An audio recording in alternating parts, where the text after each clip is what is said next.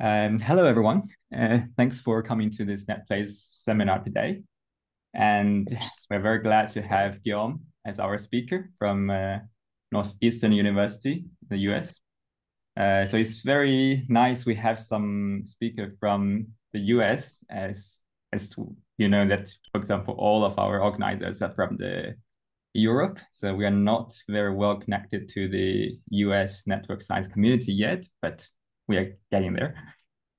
Uh, so today, uh, Guillaume will talk about navigating wastewater surveillance at airports with probability generating functions. And afterwards, uh, he will lead an interesting discussion about how to enrich your expertise as an interdisciplinary researcher. So thank you very much. And Guillaume, the time is yours. Thank you very much, Anlin. So I wanted to discuss about this new project that I've been working on for almost now a year. Um, so I wanted to start with the basic with environmental surveillance of infectious disease, which is something that mm, you might or might not be aware of. Uh, that is getting a lot of tractions recently in, in, terms of how we can better track infectious disease and have some reliable data to inform our models and uh, public health policies as well. So assuming we have some somebody who gets infected, um, for many disease, what we have is that when people are gonna are gonna go and poop, there's gonna be some genetic material of the disease in in, in the uh, the defecation that can be used, and then uh, when the, the the wastewater goes to the treatment plant, it can be sampled, and from the sample, it's we are able to kind of reconstruct and analyze the quantity or the concentration of RNA um, for different types of virus in, in, in the uh, wastewater sample. So the idea, I think one of the big advantages of that is that it's um, completely agnostic to, like people do not need to participate in it. It's always, um, um, it's agnostic to people's behavior in a way. Um, there is some effect of like rain, waste, uh, like rain that can affect the concentration of um, RNA material and stuff like that. But there's all there are ways to kind of account for that and kind of like re rescale uh, what you, you you get as a signal. So um, it's not invasive. Um, there's multiple advantages to that, and like there's a lot of like attention right now in the in the field to kind of like develop these these uh, these, these technique and use them more in our modeling uh, approach as well. So what I want to talk about is a, a slightly different approach, which is travel-based surveillance system.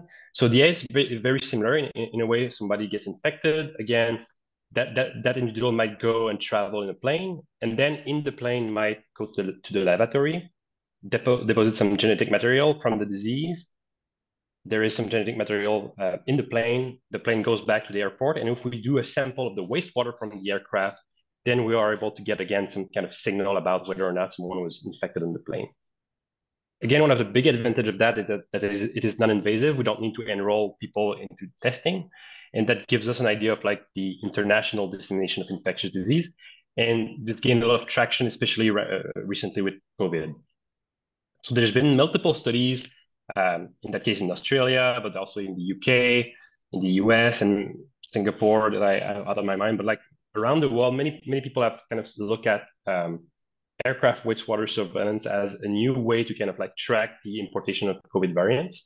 And we're trying, the idea is to kind of like scale this, scale this um, to other disease as well, and to kind of develop a global aircraft wastewater um, genomic surveillance system for better preparing us for the next pandemic in a, in a way. Um, there are some challenges with developing some kind of global system, not just like in, in specific countries, but, all around the world. Um, first, we need to find a way to kind of quantify like the, perfor- the performance of such a system. Um, right now, it's been mostly experimental studies looking at like, okay, if we sample a certain fraction of incoming aircraft to specific countries, this is what we get. But if we scale this to a global system, like what would be the, the, the uh, resulting performance? How can we optimize the system? Where should we place uh, these simple sites at different airports to kind of like get the best the best bang for our bucks. And and then once we have this signal and we are getting the the um, these sample and, and these detection at the airport, like how can we leverage this information, this new data set and novel data stream to better inform our models and also like to better, better prepare ourselves for um, emerging disease. and I think, in my mind, the way to kind of answer this question is to build some good, rigorous uh, model that kind of encapsulate all of this information into one uh, approach. And in our group, we uh, many of our work kind of revolve around this model, this global epidemic and mobility model. model.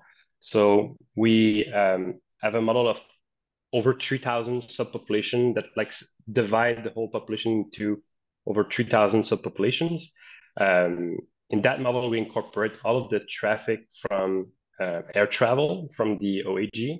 We also incorporate more short-range commuting uh, commuting um, patterns, but and, with that we um, we also use age-structured contact matrices that aim at um, representing the all of the, the potential structure or layer structure of the population, like the school layer, community layer, household layer, um, and combining all that information that gives us like a good, reliable model at a global scale. Now, this is fully stochastic, and like this, uh, this require a lot, lot of computational effort to kind of deploy this model. But I'm going to talk about like a, an alternative approach that we've been developing as well um, for that. So to model um, this kind of system, we use in that case this very simple approach where we have like this SLDR type of compartmental model. So we have susceptible, latent, uh, individual, which are not yet infectious. We have this detectable compartment, which uh, in that case encapsulate all infectious individual, but also what, what we consider post-infectious individual, which are not contagious anymore. But if they would be traveling, they would still deposit some genetic material. So you can be detected later after being uh, after you're no longer contagious. And so we have like this kind of meta compartment that uh, tries to encapsulate that. And then we have, of course, the recovered individual. And the idea is that if we have different subpopulation, uh, individuals get uh, infected in the subpopulation and then travel. Um, if there is a sentinel airport, so if there's a, a surveillance site at a, a particular airport, um, there's going to be a, a, certain probability of detection that is going to be greater than zero at that, at that location. Now there's many assumptions that we need to do in order to kind of like come up with some model of wastewater surveillance at the airport. So I'm just going to list down a few in terms of like the sampling procedure, for instance. In that case, we are assuming that we are kind of only sampling international flights to look at the international uh, dissemination of infectious disease. We're going to sample a certain fraction of all incoming flights. Like it, it can be challenging and costly to sample all, all of the flights incoming to an airport. Um, and then in this last assumption is more of a modeling assumption. We're going to assume that we're only able to get one detection per day uh, for each of the Sentinel airport. And the, the rationale behind that is um, if we do, in the end, most of the time, even if you're sampling individual aircraft independently, um, if there's multiple individuals that are infected in that aircraft, you're only going to get maybe one detection. There, there are ways to maybe try and assess maybe how many people were infected on the plane based on the concentration, but these are not very, very precise in a way. So as a kind of just for the sake of simplicity, we assume that if we have multiple aircraft coming into one airport, and even though there might be more than one individual that is infected or detectable by, by the system, we're going to assume it's only possible to get one detection at, most. Um, now, there are real heroes out there that, that do the, the, the work that I wouldn't like to be able to do, but like the, the, there are people that have come up with some estimate of like what is, because you need to assess, to, to assess this property detection, you need to assess how many people go to the lavatory on long haul flight. Um, so there's people that have done this survey asking people like, okay, what, how frequently do you go to the to the bathroom when you're uh, on an airplane, depending on the on the on the the, the, the length of the flight and, and so forth. And so far, like there's been a, a number circulating around, which is about 16% in terms of uh, probability of going to the lavatory, and then also given that an individual is is infected or post-infectious in a way, what is the probability that it, it's going to shed the virus enough so that it's going to be detectable by, by the bathroom? In the end, when, when we take all of these properties together, um, this gives us a, a, number of around 16% for the probability of detection. But in the end, in our study, we've also scanned different types of values just to account for uh, the, the possibility of not sampling all of the flight, but, but only a certain fraction of the flights, or just in terms of sensitivity analysis as well. Um, So this is kind of the overall mechanistic framework to how we can try and model wastewater surveillance at airport. Um, as I said earlier, if we design this and just run simulation, it's going to be very cost costly, especially if we want to consider different potential origin for an epidemic. Um, so instead, of we've been relying on this probability generating function approach, and I'm going to just go at a very high level describing what we're doing here. Uh, I'm not going to go into details, but if you're more interested, I, am going to give you some link to some potential uh, material that we're kind, of, we're kind of building to make this more readily accessible and understandable. So first, like just going to basic, like what is a generating function? And I think I, like to explain this in, in, in my way, like how I think about a generating function.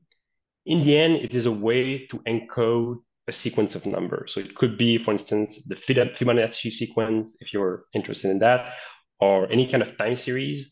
Um, in our case, we're going to be, be caring more about um, cases and stuff like that. But in a way, generating function is just a way to encode a sequence of number. And it could be in, a, in an array, it could be in some kind of uh, tree structure for sets, or um, in a way, you, can, you could try and encode this into a generating function. So you would attach numbers directly to powers of some dummy variable x. In that case, doesn't doesn't have any meaning. It's just a dummy variable to which we are going to attach the numbers. And um, what what is the quantity of interest is going to be the power of that um, dummy variable. So in, if we are looking at cases number, this would be the case number that we would put on the exponent. Um, and when we're thinking about probability generating function, what we are trying to encode, the numbers that we want to encode and put next to these powers of x is going to be a probability distribution. So I just want to give like a, a very simple example in, in, in, case, for instance, that you would be interested in the role of a die. Uh, what is the associated generating function? Well, it's only going to be one over six for the probability to have a one, a two, a three, a four. So you would encode this like this. So you would have like a power of x, you would have one over six next to the power of x, one over six next to the power of x2, so the power to have a, a two, uh, and so forth up until the power of six, which is the probability to have um, a six. Now, um, one question we could ask is like, okay, taking, and, I like to, to teach, when, when I teach about generating function, I, I like to kind of like use this example of rolling dice because this is very intuitive. Um, so one question I could ask uh, is, what is the probability distribution associated to the sum of two dice?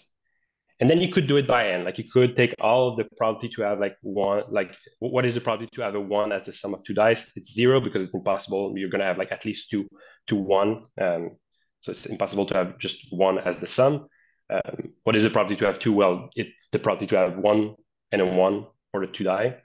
Um, and then you can do all of the combinatorics, and it's quite easy. It's possible to do it for two dice. But then if I ask you the question, what is the property distribution associated with the sum of k dice? Um, if you want to do it by n, it's going to be much more challenging. But instead, the idea is that there's a way to kind of encode that into a generating function. In fact, the generating function associated to the probability distribution of k dice has a very simple form. And this is one of the big advantage of uh, gener generating function, especially probability generating function, is when we deal with an independent event, we can combine them in, in a very simple way. One, there's one simple rule, which is that when you sum independent random variable, you just multiply their generating functions.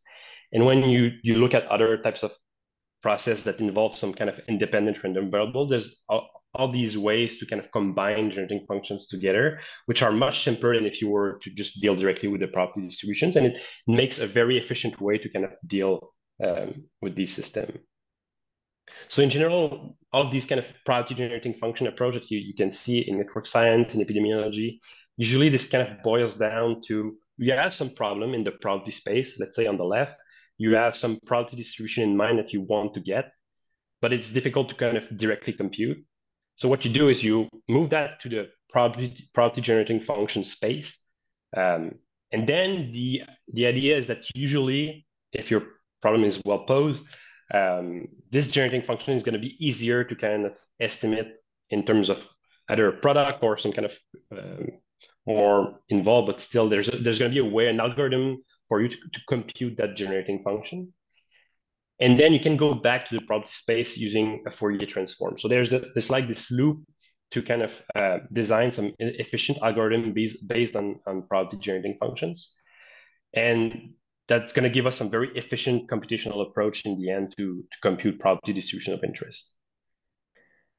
So I know this is very high level, um, but this is just to give you kind of an overview of what we're kind of doing here. So in the case that we're interested in, we are looking at a meta-population type of epidemic model. Um, so we have individuals that can infect each other. They can they can uh, travel. All of these events can be put onto some kind of transmission tree or an event tree of like all of the potential event that could happen. And this this forms the basis of what we call a multi-type branching process. And this type of process is one typical problem which can be tackled with generating function.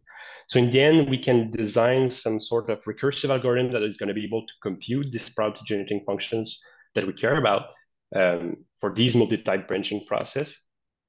And in the end, it's going to be it's, it's going to allow, us to compute distribution that are uh, probability distribution of interest that are much more easier to compute than if we were to just do the simulations directly. Okay, that was a lot of information, very high level, not in, the details, I know. If you're interested about this type of approach, if you, you like these kind of computational tricks to accelerate your code, um, I encourage you to, to have a look into this. Um, we've been building this um, Jupyter book type of tutorial. So Jupyter book is a way to kind of like get like encapsulate multiple Jupyter notebook into one kind of well-formed book. Um, but then it's very interactive. You can uh, you can run the code that, that's embedded in, in the Jupyter book. Um, we think, and I, I really like this more computational approach to generating functions, which usually is more um, theoretical in a way. So I'm kind of like uh, preaching and like uh, asking people to to have a look at this and like if they, they are interested in, in this kind of approach i think looking at into this into from from a more computational perspective is uh, very interesting. So i'm just going to leave this. If you're interested here's the the url you can scan it with your phone. I'm going to take a, a, sip of coffee in the meantime. And um, if you have any other questions with, with respect to uh, to that just ask me at the end as well.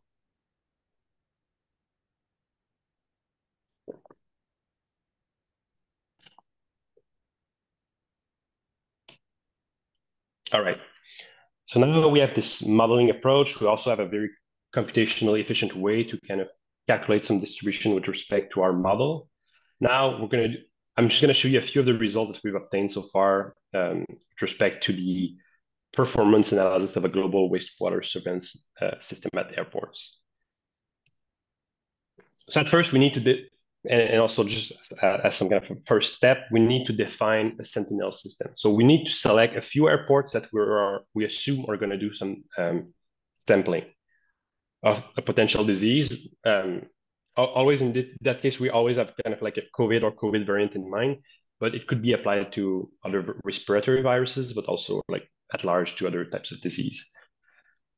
So at first we we've chosen kind of this set of 20 sentinel. We've kind of chosen them as a way to have a very broad geographical dispersion. So we've chosen like three sentinel per each WHO region, and we've also added one in South America and one in Australia to have kind of a, some kind of global coverage. Because you can think of you need if you want to detect um, outbreaks that would that could start from anywhere, you would want to have some sentinel system that is not too far, in a way um, as some kind of proxy because there's there are some very long haul flight that goes around the world, but like usually uh, there's more of these um, short or short distance flight.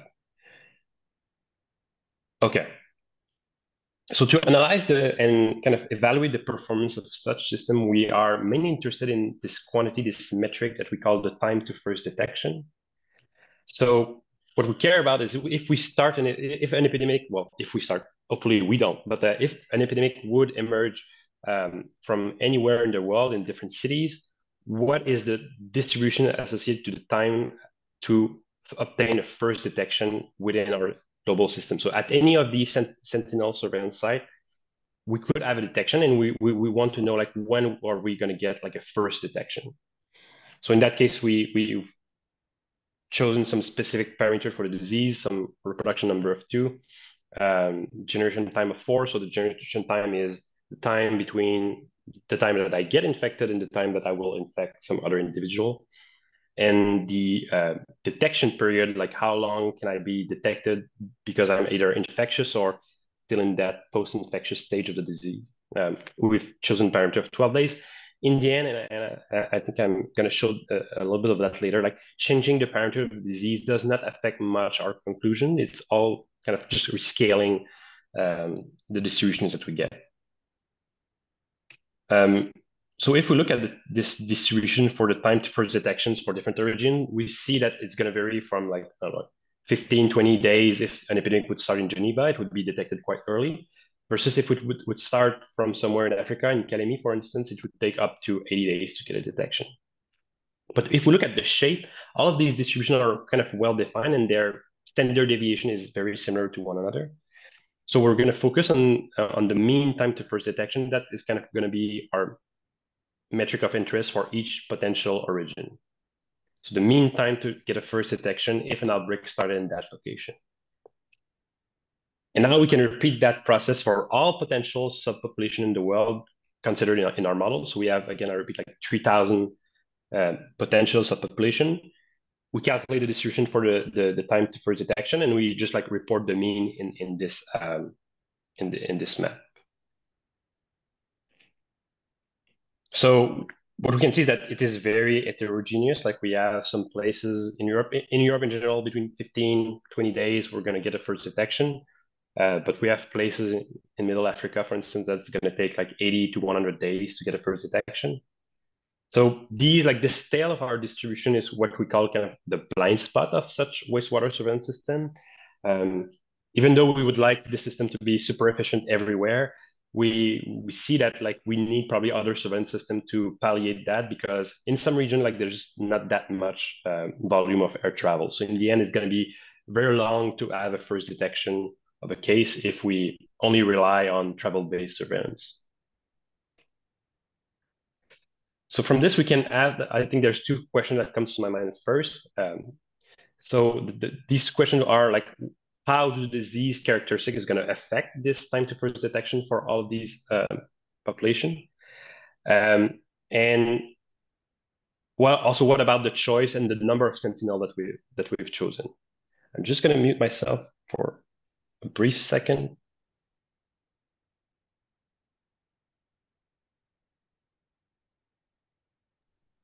Sorry about that. I have a cold. Okay. So these are kind of the two questions, and, and the choice and the number of sentinel boils down to also another sub question that we could ask is how can we best optimize our system, our systems to kind of minimize the time to first detections from all of these um, regions. Oh, I'm seeing questions in the chat. Okay. All right. So if we change the properties of the disease, so what I'm showing here in this case is the distribution for the the time to first detections from everywhere in the world. So all of these like spot with the different colors, we, we gathered that into a distribution. Um, so when we vary the reproduction number, for instance, diminishing the reproduction number, what it's going to do is, is that the is going to increase the time to first detection in general, and it's going to broaden the distribution. Um, same thing happen if we instead increase the generation time, we're gonna increase the time to first detection and it's gonna broaden the distribution. If we change the detection rate at the airport, so like if you remember this, we had this like 16% potentially kind of number in mind for the, the, the detection rate, but we see that it doesn't affect that much the time to first detection. And the underlying idea is that we have an epidemic that is grow, growing exponentially. So and when we are going to have this kind of first detection, it's, it's going to happen because we're going to have some critical mass of individual um, that are detectable and that are traveling in the system. And since we have this uh, epidemic that is growing exponentially, we're essentially we're going to if we are doubling the uh, if we are diminishing by two the factor for the detection rate um, in the end, it's only going to slow down the detection by some by one doubling time of the epidemic. So in the end, like the, the biggest impact that, the, that that's going to have on the time to first detection is going to be the, changing the, the, the, disease transmission properties such that we're going to change this doubling time, which which kind of change this like the speed at which the disease is, is going to is going to propagate. So like if we think back in terms of doubling time, um, diminishing the reproduction number is going to be the same as increasing the doubling time. If we are increasing the generation time, it's going to be the same as uh, increasing the, the doubling time. Um, and then like the the impact of the uh, changing the det detection rate is just only going to change like the critical mass that we need to obtain a first detection. Now, if we look at this time to first detection, and in that case, I'm only showing the median and the interquartile range of the distributions. Um, so if we are increasing this doubling time, we're going to see an increase, a, pretty steady increase for the time to first detection. But in the end, what we can do is we can always just rescale this by the doubling time and also accounting for some factor that that this log two term that is uh, only to account for the stochasticity of the uplink process. But in the end, we're mainly just rescaling by the doubling time, and we obtain some time to first detection that is just like pretty pretty much constant. So in the end, if we go back to this picture, if we were to increase or decrease doubling time by changing the disease characteristic, in a way, we would just broaden and shift this distribution in some ways, but in the end, like the overall picture, the heterogeneity that we observe would still remain the same. We're kind of just rescaling the properties of this uh, of this system. Now, that, that that's encouraging because in the end, if if we are only rescaling by some factor um, the time to first detection, that means that this time to first detection for any specific parameter that we choose is going to be a good objective functions if we try to do some optimization. Uh, and, it, and this is essentially what we did. So we, we look at um, this mean time to first detections where we average over all potential origin. And, and we define this as some kind of objective function for our optimization problem. And then we can try and see, can we find some better set of Sentinel? Can, you, can we find some better uh, airports so that we have a, a, minimal time to first detection uh, overall in our, in our system? And what we're going to do, we're going to report, re report this in terms of excess time to first detection. So we're, we're going to define, uh, we're, we're going to compare this mean average time to first detection from all origin with um, an, an, ideals, an idealized system where we would put a sentinel in every airport in the world. So if we put a sentinel in every airport in the world, it's going to give us essentially the, the, the minimal or the optimal um, system that we could get. And we're going to compare like the result we get for a particular set of Sentinel compared to this like optimal or idealized system.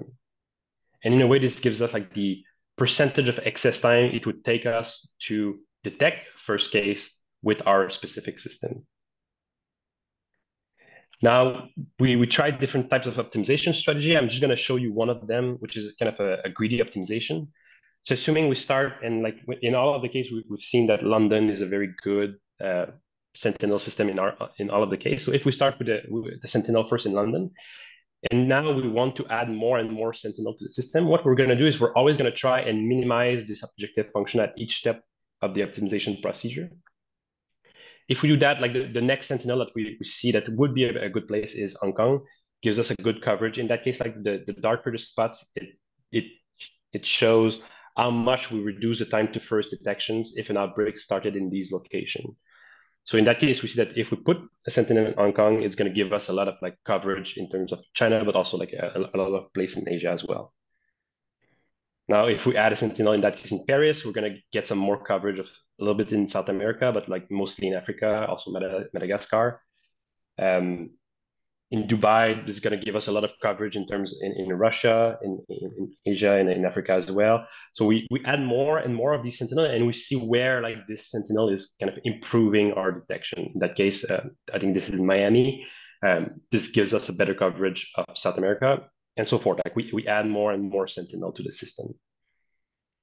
And what we've seen is that when we do this for different types of strategies, like we've compared also with uh, just choosing airport according to their volume of international travel, also the betweenness centrality of the uh, of the air travel network.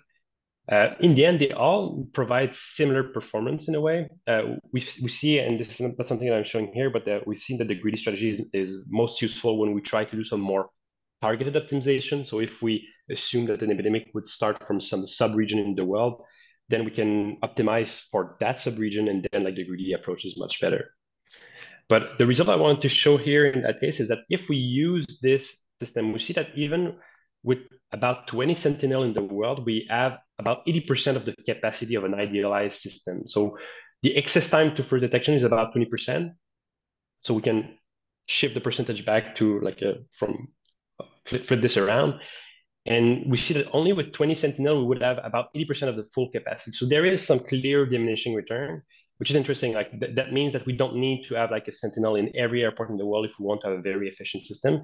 With as little, which can be, which can seem still a big number, but with as little as 20 Sentinel, we already have some good coverage um, of the whole world with, with this type of system. And finally, we did some counterfactual studies to kind of like show um, how useful this system could have been at the beginning of the COVID-19 pandemic. So we assumed that what could have happened if we had such surveillance system at the beginning of the COVID pandemic, how it could have been useful for us in terms of situational awareness and preparedness for the, the pandemic. So what we did is first we calibrated our, our model on what we have observed, so the international importation of cases that have been reported at the beginning of the pandemic. So with that, we were able to kind of calibrate the, the both the reproduction number, but also the start some potential start date for the epidemic.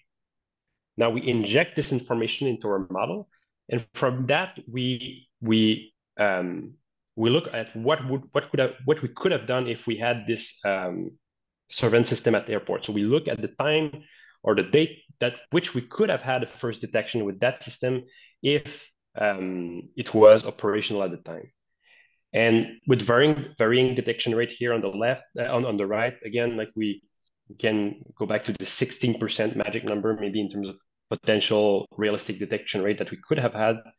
Um, and we see that we would have had a detection probably much earlier than the first international case that were, was reported. So the first case that was reported outside of China was on January 13.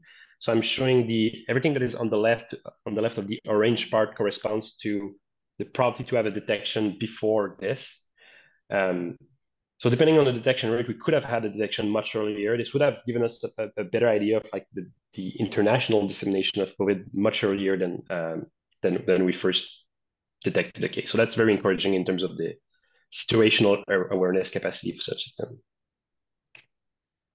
And we've done also some other studies in terms of like what once we have the system in place and we start to also get some some detections, how can we use these case detection to inform us on the pandemic potential of a, of a disease?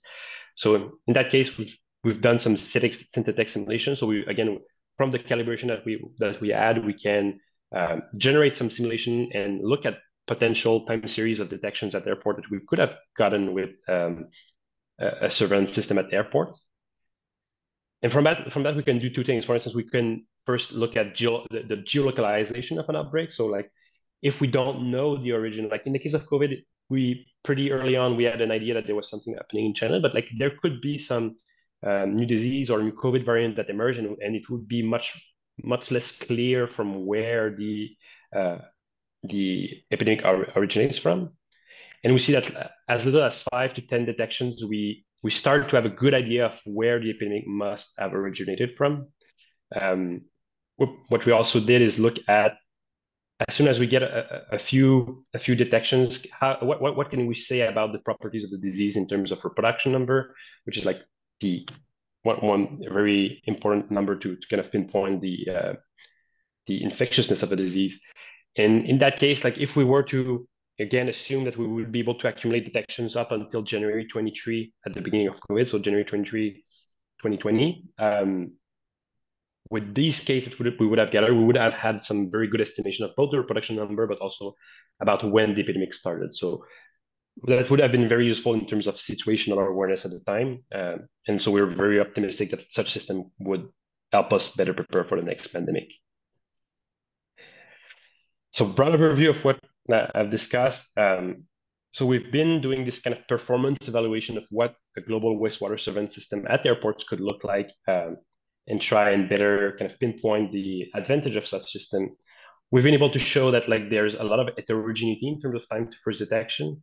So although this is a very interesting system, there might be some blind spot that would need to be covered by other surveillance systems that do not rely on um, travel or air travel. We've seen that like the properties of the disease are going to affect a lot like this time to first detection, but in a predictable way such that we can always kind of rescale by the doubling time and it's not going to matter when we do the optimization of the system.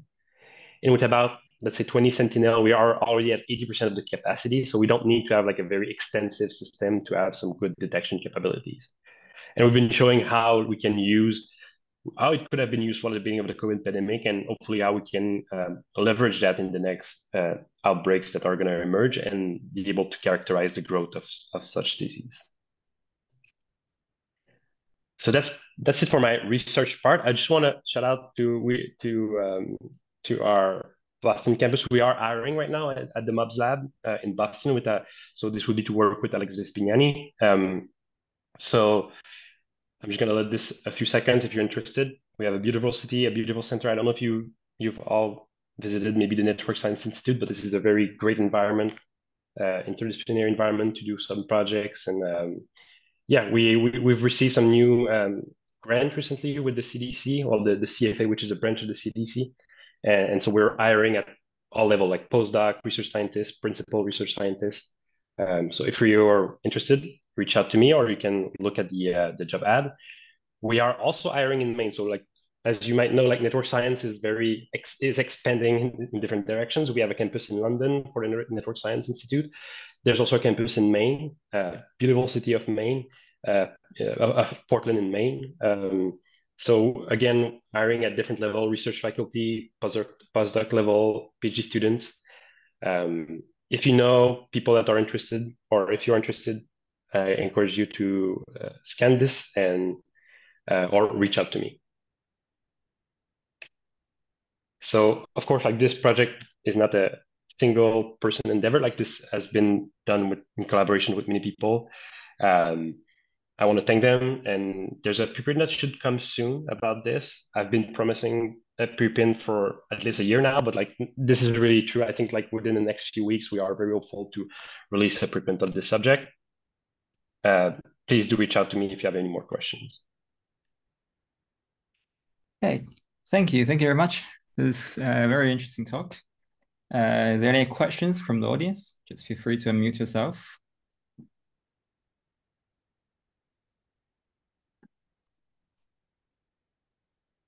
Uh, there is a comment in the chat from Sylvia. Uh, I suppose oh, yeah. it problematic also because the blind spots seems to be clustered together in space. Mm-hmm. Yeah, no, that's a good point. Like there's in the end, we see that even if we try to break down at different geographical level, what we're going to see is there's there's going to be a blind spot in all the regions. So there there are always going to be some blind spot, but of course, like uh, if you look at uh, Middle Africa, Central Africa, um, there's a huge blind spot there. In the end, the fact that they're clustered there might be an advantage? I don't know, like because in the end we can try and palliate this blind spot with other types of um, environmental surveillance. Um, in fact, we are collaborating with the, the Gates Foundation to kind of like deploy the, this kind of system. And, and once we've shown we've shown them like this map, they were they were like, okay, well, we can try and already think about how we can palliate these blind spots and find some other ways to kind of uh, do surveillance there, so that we don't yeah leave any any kind of uh, region as uh, undetected in a way. And yeah we in terms of optimization we could also and, and this is something like many people since i've presented that uh, in different places like i've received this comment a lot like oh why, why don't you just do the optimization on, on the blind spot? And and this is something we definitely need to do um, to, to, to, do. Like we haven't done it yet and that's a very good suggestion. In the end what we see what we've seen other though like is um, even if we were to put a sentinel in every airport in the world, there's still going to be some blind spot. And this is just to the fact that there is some um, place such that the, the, traffic, the air traffic, the, the air travel traffic is so low that's going to be very difficult to get like the disease out of these places before. So in the end, um, we really need to rely on other types of approach to kind of palliate for these blind spots. Thank you. Okay, thank you. Is there any other questions? Can I ask one? Although I'm I'm squatting this space. Of course, so. of course. It's for early early career. So I didn't want to, but I couldn't. Uh, I couldn't resist to come to this talk. Um, so uh, very, very, very nice work. I mean, I, I knew about about it uh, since a couple of months. Uh, and my question are actually two. So one is, uh, I mean, what is the role of stochasticity in all of this, and how you capture it? Mm-hmm. and the second one, if I may, is that I mean, I understand the time using the time to detection as a, as the the key uh, metric, but I mean, being 10 days uh, in delay, let's say, uh, if the disease starts in some place in Africa or if the disease starts in London, is very different. Mm-hmm. The outcome, let's say, of the number of cases after, I don't know, 100 days. So uh, yep. I wonder if you ever, if you thought about to renormalize by, I don't know, the, the cost in terms of, uh, I don't know, recover people after uh, X number of days rather than the time. Yeah, that's a good. That's a very good point. Like, uh, and this is something that we look, especially at the beginning, like when we were first looking at this, we were not looking especially at the time, but more at like the the when we first get a detection, what is the actual outbreak size at the time. Um, there's still something I need to do, but I, my guess is that when we do this renorm renormalization of the time to first detection with the doubling time, we should arrive at something that is, in a way, it should be a good proxy for the outbreak size, either at the source or in the world at that time as well. Um, I would say one reason why we focus on the time to first detection is it's much easier for me to compute in terms of like computational efficiency, like this run on my computer on my laptop really really efficiently. The other one can I can still do it, a little, but it's a little bit more complicated in a way. Um, but yeah, we we want to look at these other targets as well because yeah, like in the end, what we mostly care about is like how many people are infected currently right now and are, are potentially carrier of the disease and can create more. Um, ideally, and I'm pretty sure this is the case, like this time should be a good proxy. In terms of the stochasticity, um, in the end, the stochasticity plays um, the major role it plays is in terms of the detection process, and this is why like the time the, the, the distribution for the time prediction always have kind of the same shape. Um, there's also stochasticity in terms of um, the beginning of the outbreak. If we start with only five infected individual, it's going to stutter for some while and, and, and it's going to create a lot of stochasticity. In the end, we, we usually assume that we start with a cluster of at least 10 infected individuals to kind of reduce the stochasticity. Um, and in the end, it doesn't play a major role. So if you always assume that your, your epidemic start with a cluster of 10, 20 individual, this kind of initial stochasticity doesn't matter that much. And it's mostly kind of the um, stochasticity associated with the detection, detection process that is going to affect your, your distribution. But in the end, this stochastic, like it's always kind of a well-peaked distribution that is very much the same in all of the cases. So we kind of ignore that part in a way, and we kind of rely mostly on the mean time first detection as, as a metric. And this gives us a global perspective, even though all of these kind of data point are more like small distribution around like a, a mean value. Thank you. Thank you. Uh, thank you. I have a question myself. Uh, sure. It's a uh, it's a detail of the optimization. So if you can go back a few slides. So if I understand correctly, the optimization, the objective is to minimize the average detective time for all this airport. That's right. I don't remember exactly. If you can go back a few. Yeah. Uh, oh, is it this slide? Um, this one. Uh, yes. Uh, yeah. The, the, yeah. This one. Yeah, yeah. So we are um, minimizing the the uh, we are averaging over. So we have there's kind of two average there. There's kind of two main. There's for each each potential origin. So like each of these point, we have a mean time to first detection. So each of these subpopulation that gives us one mean time to first detection. Okay. After that, we we average this over all potential subpopulation to give us like an average of the mean time to first detection over all population. Now, in that case, I'm, I'm using, assuming that all subpopulation have equal weight, which is one big assumption. Like we might want to bias this in some ways. Um, okay. There are some maps that, that have been created in terms of um, potential for epidemic spillover, for instance. So if we're interested in interested in detecting novel pathogen, that might be interesting to look at these map of epidemic spillover potential. Um, we could also think of just like for instance circulating covid variant we could look at maybe incidence data and try to bias our distribution in terms of this um, so there's and, and in a way this would be very flexible. We could just input some prior probability distribution for each of these subpopulation and, and inject that into our objective function which is the mean. Um, uh, okay. and then yeah. Yeah yeah.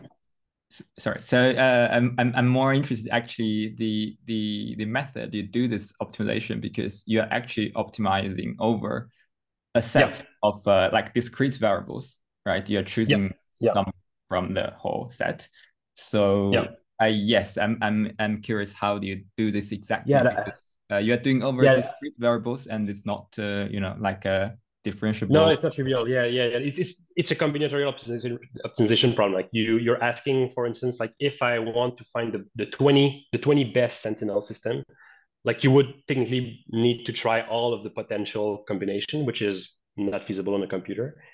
So what we do is a greedy approach. In the end, what we can do is for us, kind of calculating this quantity, this objective function is very cheap.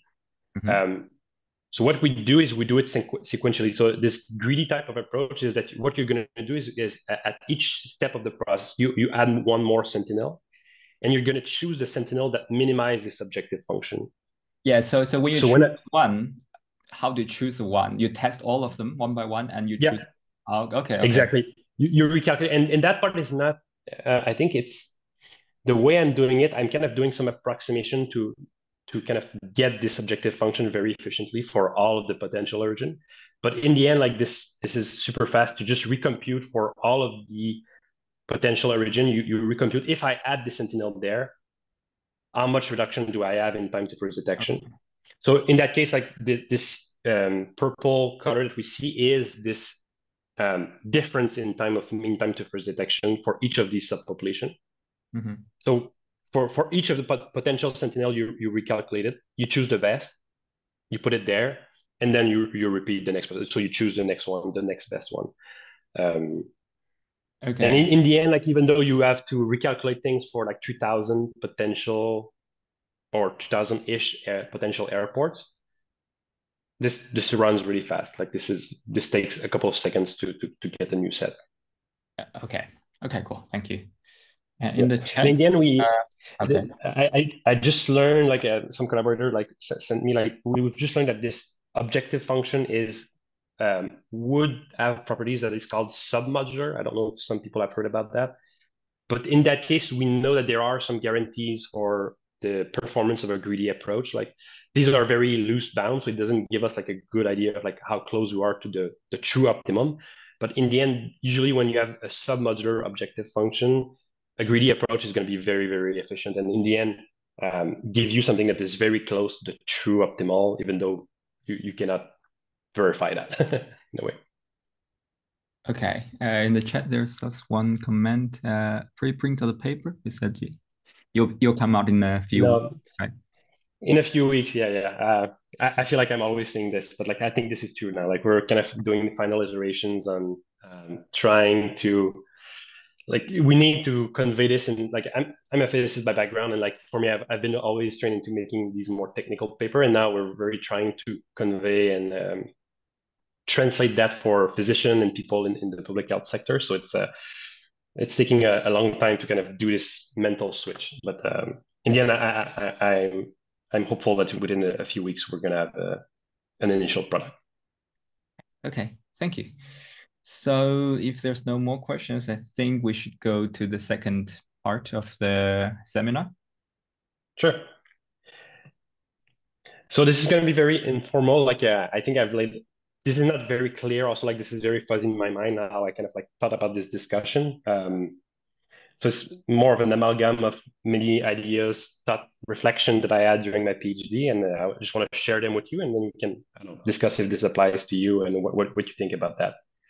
Um, so I think one of the things that I I remember like when I started my PhD uh, in, in physics, like I, even though we were a very theoretical group in a way, I was always kind of finding myself not an expert in this in this subject. Like I remember when I first encountered like these critical exponent for um, statistical physics process. I, I, I never had a, a, proper training in, in critical phenomena in a way.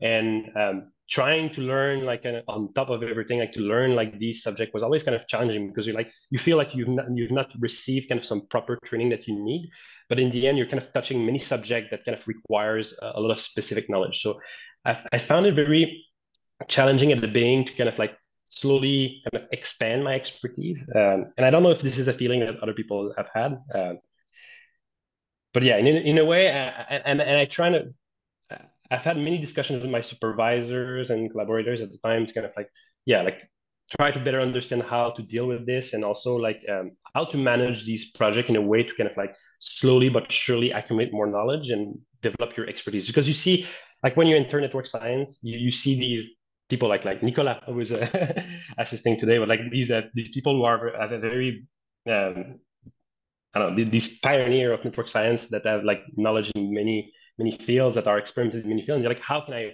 how can I reach this point at some point? Like, how can I slowly accumulate knowledge so that I, I'm becoming truly an interdisciplinary researcher? And through this discussion, I, I found that like you really need to treat kind of like your project as some kind of portfolio. And that's a good advice that I received from Laurent. Um, and I, I, think it's good sometimes to have like sometimes we try we always try to reach very high in terms of like the potential impact of a project. I think sometimes it's, it's, it's fine and it's fair to just have some very small side project that you don't know if it's going to be a big contribution to the field but uh, it's just a project that is important to you. And in some sometimes it allows you to be more flexible in terms of like oh i'm going to take some time to explore other fields with that little project this little pet project. And in the end like this this i think this, for me this, this has been a, a way that i've learned a lot uh, through this small kind of experimental project. Um, I always, yeah, like this kind of this idea or this concept of or this metaphor of a portfolio of project.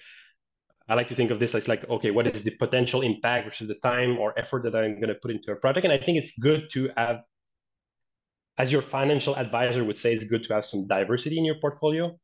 Um, so not putting all of your eggs in the, in the same basket. So not just doing some very big impactful projects that are going to take so much of your time and it's going to take you a lot of energy. Sometimes having some of these more small um, fun projects that are in, in, a, in, a, in a way like low risk uh, that you know you can you can put this uh, you can go to the end with this project and it's going to be fun you're going to learn and, and and that's it. Um, going still again in this metaphor of portfolio of projects. Like I, I like I think like there's also always this dichotomy of exploration versus exploitation, and I think it's good to do both. Like in my uh, PhD, I've done a lot of work on like approximate master equation of epidemic. Like it's very like a very specific subfield, and I've worked almost exclusively on that. And I think it's it's good. Sometimes you need to like develop some very deep, profound knowledge in some very specific field to kind of exploit and like get everything you can from that. But at some point, you also need to do this kind of more exploratory process and um, try to get into get involved into a project that are just a little bit outside of your um, expertise or your your comfort zone so that you can develop some new knowledge. And like this kind of level of how far it can be outside of your comfort, comfort, comfort zone in a way is up to you. Uh, in in my experience, I prefer to have something that is still close to the boundary of my comfort zone because otherwise, like you don't feel like you're able to contribute enough, or it's going to be very challenging and again, like a very energy consuming to kind of like pursue this project. Um, so yeah, like maybe in terms of like another takeaway of this is like striking a balance between exploration and exploitation. Um, and finding like what is the, the good comfort zone for you to these new exploratory step and I think the best way for me has been to, to kind of explore in a goal oriented way. So whenever I, I had some subject that I was interested in, I was like, oh, I'd like to learn more about this subject. Find some project that kind of encapsulate this idea or new concept that you want to explore and like start this project and, and, and pursue this project. This is the best way to kind of learn, I think, in, in this in this interdisciplinary environment. You can always just read a book, like get, get a new book on a subject and read it, but I don't think it's the most productive way to kind of learn. Um, depends on how you you you like just like reading a book from from cover to cover but like for me i, I get bored really easily. So like it, it, was always better to kind of like form, force myself into a new project that is just at the boundary of my comfort zone so that i can explore new horizons. And i just want to give you maybe the, like one example of that. Um so i was saying uh, as i was saying like my at, at the beginning of my PhD, I was much in into like theoretical statistical statistical physics. Um, I was looking at these critical exponents and like finite size scaling analysis of um, epidemic model and like trying to find ways to kind of like get to the nitty gritty detail of these epidemic threshold. And um, I did this like my first project was around that. And what I found is that it takes so long to kind of compute all of this. So I think this was kind of the the first time that I was okay. I need to learn more about computer science. I need to learn better ways to code, better ways to kind of like design simulation algorithms. So this was kind of my wake up call for that. And I was like, okay, let's let's start a project on that. Like let, let, us find a way to to better kind of simulate um, contagion network. And I, I I went back to oh yeah, make stochastic simulations fast again. Um, so the idea was to go back to the source and like go back to okay, what, what is the algorithm I'm using? I'm using some kind of Gillespie type algorithm. So this is a way to simulate continuous time contagion dynamics or continuous time stochastic processes in general um, on computers. So I'm going to go back to the source, like explore, because th this has emerged from computational chemistry, like uh, the field of um, computational physics, com computational chemistry. And there's a lot of great paper in that field. Like I was amazed at how close it is to, to, to many of the, the subjects that I was interested in. Um, I discovered a lot of nice paper while I was doing this kind of exploratory period of in, into the, the world of chemical reaction networks. Um, one, this is just like me being nerdy at that point, but like I, I, I really like this paper where they were showing how to recycle random numbers. So I don't know if you you probably never never went that deep into like your code, but like if you are looking at the, the nitty gritty details of how you simulate your, your contagion, at some point you might end up to a point where generating a random number is going to be the, the bottleneck of your code. And, and that can end up being a costly step. And at that point, you can do what's called recycling random number. So when you are generating a random number of your computer, it's going to have some bit of information in terms of like the in, in terms of the randomness. And usually we don't need all of this bit of information that is created by the random number generator. So what we can do is we can, there's a, a, trick to kind of recycle some part of the information that you're using from your uh, process. And in a way, you're kind of like saving some time in terms of generating a random number from, from that process. But in the end, like that's very like little details. But in the end, like searching through the field, I, I, at some point I was able to find some great paper that was doing exactly what I needed. I just needed to translate this from the simulation of large biochemical reactions to epidemic epidemic process. But in the end, like it was very easy to, for me to translate that from from from that source to to to my problem. And in the end, like we kind of wrote down a little a little project around that, like wrote a little paper, and then that, from this I learned a lot, like immensely in terms of uh, like the the details of computer engineering, um, designing efficient algorithm, and so forth. So just very simple example. And i think like that that applies like this idea of like creating these little project, project also applies when you're at the point of choosing maybe a, a, a postdoc position in a way. Um, so for me during my phd i learned a lot about like theoretical physics statistical physics computer science like with, through these little kind of experiment a lot about epidemic modeling but always in the more theoretical context. So when i chose my postdoc this was kind of again like this micro baby step that you want to go a little outside of your comfort zone, but still close enough to your comfort zone so that you're still productive. And I think like the I, found a pretty good sweet spot where I am right now. Like we are a lot involved with the public health uh, sector, which is what I, I, wanted to have like this contact. Um, so getting closer to the policy making decision, but still like I, I'm able play with generating functions and very theoretical tools. So I'm able to be being productive, but still like in, in this new environment where um, I'm learning a lot about like the public health part of, uh, of my work. So yeah, in conclusion, like I think it's good to have like this these goal oriented. And I think when you choose a postdoc or like you're looking for a postdoc, think these are two questions that you should ask yourself. Like, how can I best contribute to, to this new lab? Um, so like all of your past experience, your comfort zone should overlap with what the lab needs in a way. Like that that would be the ideal case and also like what are you going to learn from this post like if you're too much in the center of your comfort zone you might like you're going to be productive but in the end are you going to learn much from that experience i think like the, the best is to find some compromise between the two um and yeah like i think like a final visualization of like what is my in my mind like this random walk of academia and learning um in terms of interdisciplinary research. Like you, you're doing like these micro step here and there to kind of like evolve. it. At some point, I think it's good to stop and like ex- exploit what you've learned so far and like deep do a deep dive into like what you've learned and and uh, yeah exploit your comfort zone to kind of produce these more um, impactful research. I think that's it. So thank you. i asked you the question like have you felt have you ever felt kind of in that situation? How is your feeling about um... oh, i'm seeing there's a raised end inspiring and they, clearly there are a few questions uh, yeah. So yes, Sylvia typed in the chat. Uh, the magic about small projects is that they easily become big projects. That's true. The magic about small, yeah, no, that's right. And and sometimes, yeah, like you you you can start with humble ambition. And at some point, you can find some gem and like, oh wow, like you, and and, and sometimes this is also um, through discussions. I think another point that I should have mentioned is like it's it, it can be fun to do a project for yourself and do a project alone but i think like it's always great to have nice collaborators and doing I, I never do research alone in the end like i think it's always best to have these discussions and sometimes like this is how you can turn a simple humble project into something much bigger because like someone had some good way to link this to another problem and yeah no yeah yeah that's a yeah good uh, good point and how do you find small projects i think yeah that's a good good question. Like I think there's no like secret recipe for finding them.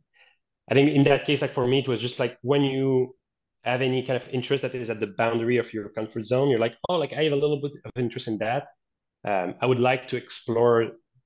I would like to explore that field, but in a way, I don't have anything right now that I'm able to do.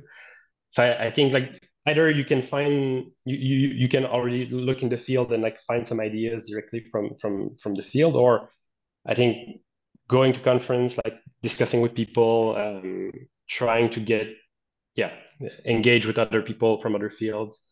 Um, yeah, that, that's a difficult task. Like uh, being able to find these small projects that are like at the right position. Uh, I, I, don't think I have an answer for that, but uh, hopefully everyone can do it. Yeah. Uh, I think previously there was another question from uh, Lisa. Yeah, uh, thank you very much for the for the talk. Very interesting, and I I think uh, it's more a comment than a than a question. I think sometimes it, what it means is like a bit of risk. I mean, mm-hmm. willingness mm -hmm. to take a risk.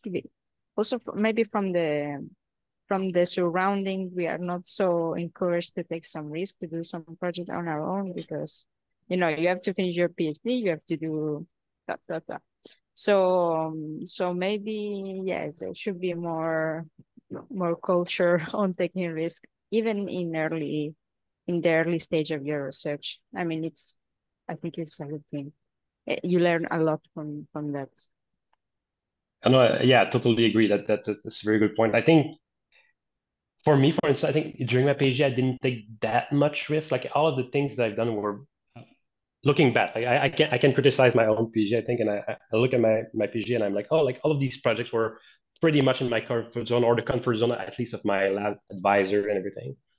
Um, I see some of my other colleagues that are taking more risk, and I think yeah, it, it is beneficial and um, yeah, it's difficult. It's a difficult decision because when you're taking some risk, usually it's because you're taking you're going to try and do something that is very out of everybody's comfort zone in a way um, it's uh, it can be mentally challenging as well. I think this is why also having multiple project at some point becomes useful because there's always kind of a plan B or there's always another project that you can work on. So having this kind of portfolio, I like to think of this as like some kind of like finance thing. Like you you have this portfolio of projects where you have some more risky and some less risky project, and in the end, it's finding a good balance between them.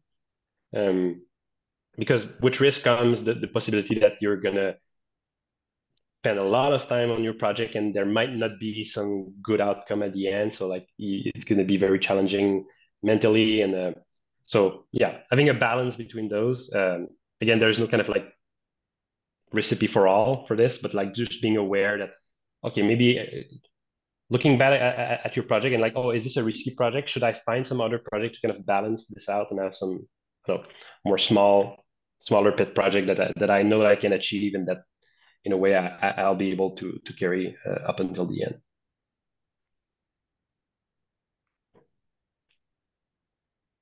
any other thing anyone want to add?